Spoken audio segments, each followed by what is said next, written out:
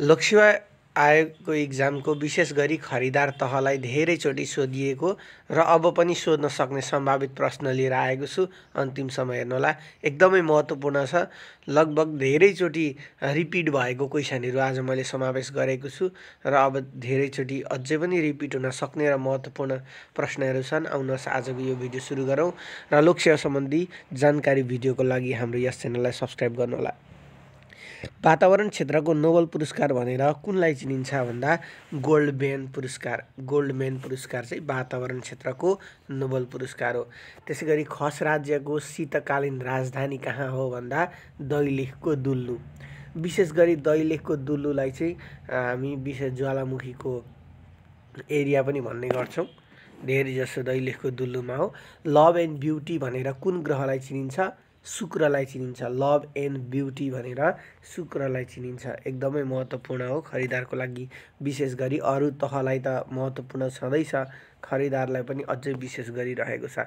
बाह्रौँ जनगणना दुई हजार अठहत्तर अनुसार कर्णाली प्रदेशमा जनसङ्ख्या वृद्धि दर ऋणात्मक भएको जिल्लाहरू कति छन् भन्दा दुईवटा दैलेख र सल्यान यो चाहिँ जनसङ्ख्या वृद्धि दर चाहिँ घटेको भन्न खोजेको। अब त्यसै गरी हामीले अब यदि प्रदेशगत रूपमा पढ्दैछौँ भने हामी यदि प्रदेशको लागि पढ्दैछौँ भने हामीले प्रदेशको ध्यान दिने प्रदेश नम्बर एकमा हो भने प्रदेश नम्बर एकमा ऋणात्मकहरू कुन कुन छ त्यसरी याद गर्नुपर्छ इक्जाममा आउन सक्छ। रारा तालमा कुन हिमालको छाया देखिन्छ? सिस्ने र कान्जिरोबा। यो अप्सनमा आएको थियो एकचोटि। सिस्ने र कान्जिरोबा कुनै एक लाइनमा एउटा केटी अगाडिबाट र पछाडिबाट उन्नाइसौँ स्थानमा पर्छ भने त्यो लाइनमा जम्मा कतिजना छन् यसमा चाहिँ फर्मुला हाम्रो T is equal to L minus R हुन्छ।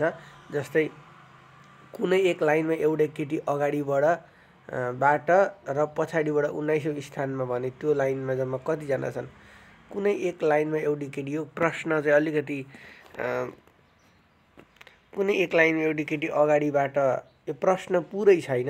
माफ गर्नु होला यो क्वेसनमा प्रश्न अलिकति पुगेन। यसको बारेमा म नयाँ आइक्यू बनाउँदैछु त्यसमा हेर्नुहोला आइरा ताल कहाँ पर्दछ?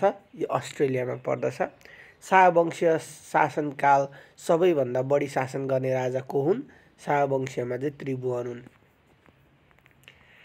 त्यसै गरी प्रदेश प्रमुखको पदमा उम्मेदवार हुन कति वर्षको उमेर पुग्नु पर्दछ? पैँतिस वर्षको उमेर पुग्नु पर्दछ प्रदेश प्रमुखको उम्मेदवार हुनको लागि। अनि प्रधानमन्त्रीको लागि कति वर्ष पुग्नुपर्छ भन्दाखेरि एक्ज्याक्ट प्रधानमन्त्रीको लागि भनेर तोकेको चाहिँ छैन तर प्रतिनिधि सभाको सदस्य भएको मात्रै प्रधानमन्त्री हुन सक्छन्।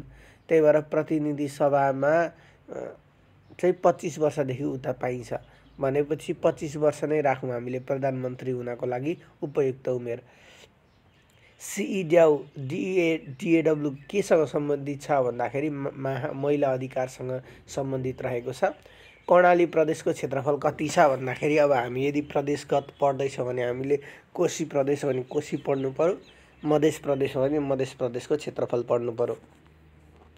दिगो विकास योजना कुन पञ्चवर्षीय योजनादेखि सुरु भएको हो? यो एकदमै महत्त्वपूर्ण छ। आठौँ योजना हो र दिगो विकासमा जम्मा अठारवटा लक्ष्य छ। त्यो अठारवटा लक्ष्य पनि पढ्नु होला मैले सूत्रसहित हजुरलाई मैले कुनै एउटा भिडियोमा भनेको छु। एकचोटि च्यानलमा गएर हेर्नुहोला। रेबिज विरुद्धको खोपको आविष्कार कसले गरेका हुन्? Louis Pasteur.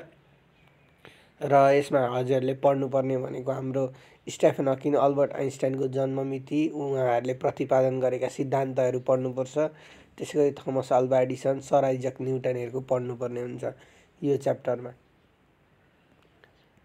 सम्पत्ति तथा पारिवारिक मामिलामा दम्पतिको समान हक हुने भनी कुन धारामा व्यवस्था गरिएको छ? अडतिसको महिलाको हक। अब यो एकैचोटि संविधानको एकैचोटि यहाँ कसरी आयो भन्ने प्रश्न हजुरहरूलाई एकदमै जिज्ञासा लाग्छ होला। यो वास्तवमा मौलिक हक अन्तर्गत संविधानको भाग तिनको धारा सोह्रदेखि छ्यालिससँग। यहाँनिर हजुरहरूले त्यो हाम्रो मौलिक हक पढ्न सक्नुहुन्छ। प्रायः सबै मौलिक हकबाटै आउँछ खरिदारमा इक्जाममा आयो भने। मैले हजुरलाई खरिदारको मोडल सेटहरू पनि बनाएर अपलोड गरेको छु त्यो हेर्नु होला एकदमै महत्त्वपूर्ण छ। अब यो हाम्रो आइक्यू पऱ्यो। आइक्यूलाई हामीले छोडि नै हालौँ। दोहोरपाटन शिकार आरक्षणको क्षेत्रफल कति छ भन्दा एक तिन दुई पाँच यसलाई कसरी पढ्ने? एक दुई तिन अनि पाँच यसरी याद गर्ने।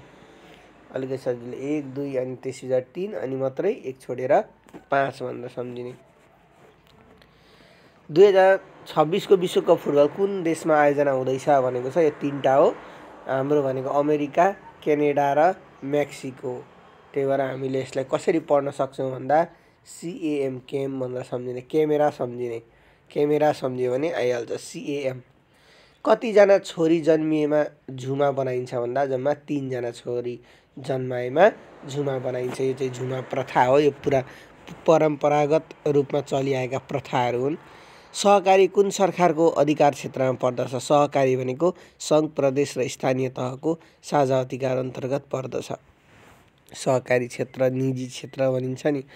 पृथ्वीमा कति प्रतिशत जमिन रहेको छ भन्दा उन्तिस पोइन्ट दुई प्रतिशत जमिन रहेको छ। योभन्दा अगाडि चाहिँ पृथ्वीमा कति प्रतिशत भनेको जमिन बाहेक पानी रहेको छ जल रहेको छ भनेर आएको थियो। यसमा ठ्याक्कै सयमा घटाउने आइहाल्छ।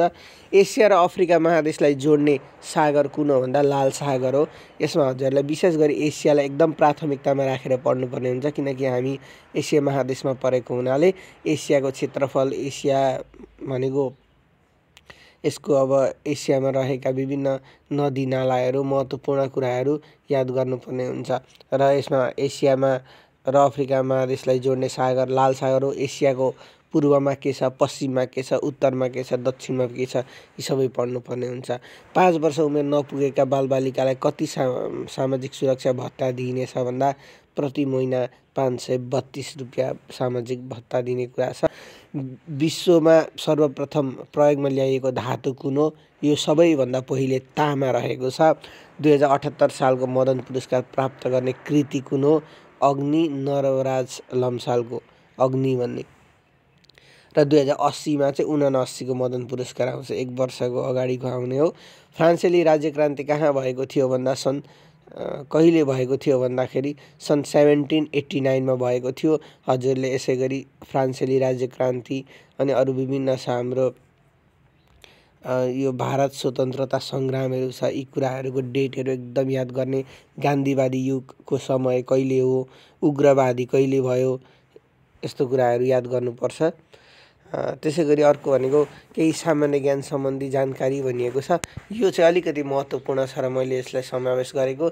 धन्यवाद विमल खड्काजी उहाँको फेसबुक पेज छ विमल खड्का उहाँबाट मैले साबर गरेको हो। यहाँ धेरै इम्पोर्टेन्ट लागेर केही सामान्य जानकारी भनिएको छ। बालाजु अब नेपालको औद्योगिक क्षेत्रहरूमध्ये सबैभन्दा पुरानो कुन हो भनेर आउन सक्छ? यो बालाजु औद्योगिक क्षेत्र दुई हजार सोह्र सालमा बनेको हो।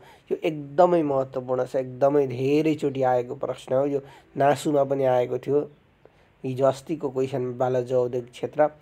र यदि हजुरले प्रदेशगत अन्तर्गत पढ्नु हुँदैछ मैले भन्दैछु प्रदेश नम्बर एकको लागि पढ्नु हुँदैछ भने प्रदेश एकमा भएका औद्योगिक क्षेत्र कुन कुन हुन् याद गर्ने? कहिलेकाहीँ हेटौँडा औद्योगिक क्षेत्र भनेर आउन सक्छ यो बागमती प्रदेशमा पर्छ। विक्रमसम्म दुई हजार बिसमा सुरुवात भएको र यहाँ धरान छ नेपालगञ्ज छ। यी एक दुईवटा आफ्नो छेउछाउको पनि याद गर्ने सजिलो हुन्छ। र यहाँमध्ये धनकुट्टा चाहिँ हाल बन्दमा रहेको छ। अब बन्द भएपछि यसको केही न केही हामीले जान्नुपर्छ। किनकि यो बन्द भएको वा यसकैबाट प्रश्न आउँछ कि भनेर त्यसैले धनकुटा औद्योगिक क्षेत्रको स्थापना दुई हजार एकचालिस सालमा भएको हो भन्ने कुरा पनि एकदमै प्राथमिकतामा राखेर पढ्ने।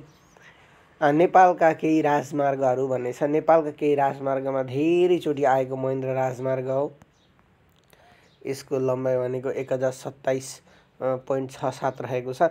र अब के जान्नुपर्छ भने आजसम्म यो त आयो आयो। यो बाहेक अरू राजमार्गबाट आएका प्रश्न चाहिँ के छन् भन्दा हजुरले आफ्नो बुकमा पल्टाउने। मैले त एउटा गाइडेन्स दिएँ हो हजुरलाई। पढ्ने त जति गरे पनि लोकसेवा आफैले हो। एउटा आइडिया भनेको चाहिँ के छ भने अब हजुरले गएर के पढ्ने भने महेन्द्र राजमार्ग कहाँदेखि कहाँसम्म टुङ्गिन्छ? त्रिभुवन राजमार्ग कहाँदेखि कहाँसम्म टुङ्गिन्छ? अरण्यको पृथ्वी नारायणगढ धुलीखेलहरू परेन? अनि यहाँनिर छ तल सिद्धार्थ त्यस पछाडि यति यति चाहिँ याद गर्ने आफूले। र प्रदेश आफ्नो प्रदेशमा कुन कुन पर्छ त्यो याद गरिदिने त्यति भए काम पुगिहाल्छ। म कहिलेकाहीँ आएको छ धेरैचोटि। पृथ्वी राजमार्ग कहाँदेखि कहाँसम्म फैलिएको छ अथवा कहाँदेखि कहाँसम्म छ भनेर अप्सन आएको छ त्यो आएको छ अनि अर्को के आएको छ भने धेरैचोटि आउने प्रश्न भनेको अरण्यको राजमार्ग कसको सहयोगमा निर्माण भएको छ? त्रिभुवन राजमार्ग कसको सहयोगमा निर्माण भएको छ? महेन्द्र राजमार्ग कसको सहयोगमा निर्माण भएको छ? यो चाहिँ हजुरले आफ्नो बुकमा खोज्ने त्यहाँ छ पनि भेटाइन्छ हो त्यो पढ्ने। एउटा सेलेक्टिभ तरिकाले पढ्नुपर्छ। जहिले पनि लोकसेवाको जिके पढ्दा सेलेक्टिभ तरिकाले पढ्ने जस्तै मैले अहिले यो गाइडेन्स दिएँ। मैले मेरो खरिदारको सिट हाल्दा कसरी हालेको छु भने